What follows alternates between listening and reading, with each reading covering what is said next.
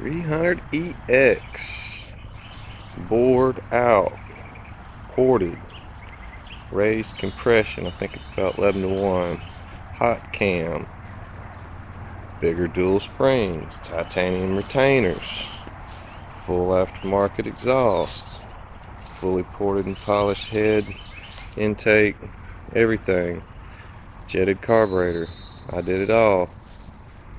Honda built it. I rebuilt it. I got it as a non-running bike. I'll show you all a before picture right here. And here it is now. I was working on it today. I kind of bent the front bumper up. You might can see it from here. Anyway, I fixed it. The bolts come out. The broken bolts come out. It is. so I bought this little reservoir for the brake fluid. The stock one went out. It was too expensive.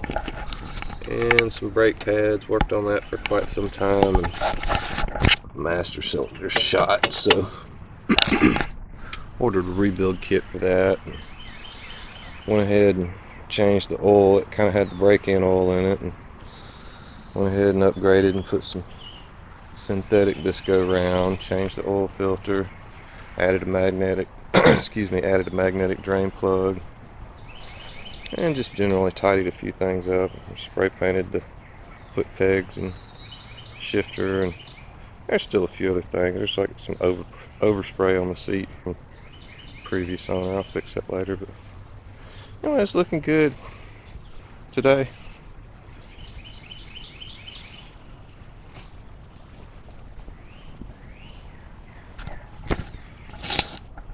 Thanks for watching.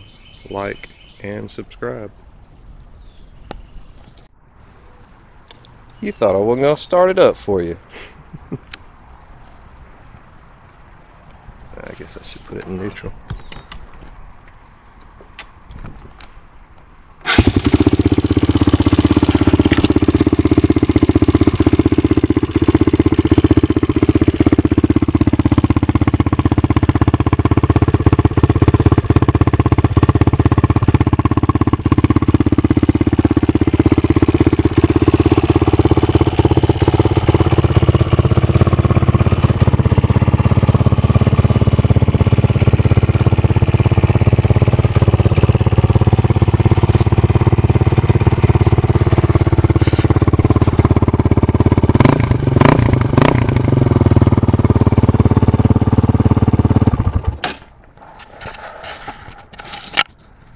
Thanks for watching.